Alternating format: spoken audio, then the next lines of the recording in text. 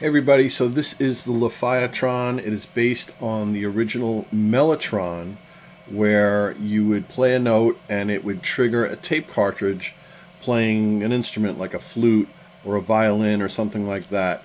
But this version um, is for lo-fi and it uses a cassette player and each one of these potentiometers is a different pitch that you can tune. So for instance, if I hit this, then I hit the next one, then I hit the next one, and unlike the Mellotron, because it's a cassette, you can record anything you want on the cassette. You can record synths, bass, uh, bells, keyboards, car sounds, um, water sounds, anything you want for ambient type of uh, productions. Really cool. And you'll see if I hit this last one and I move this knob,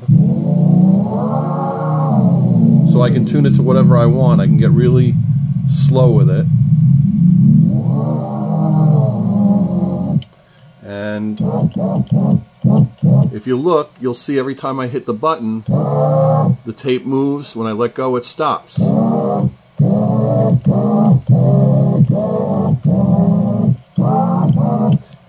It has quarter inch output. It comes with a 9 volt adapter. Uh, and it's totally custom. Uh, you know, we had to go in and circuit bend the cassette deck a little bit and do some, uh, you know, the stuff we do here.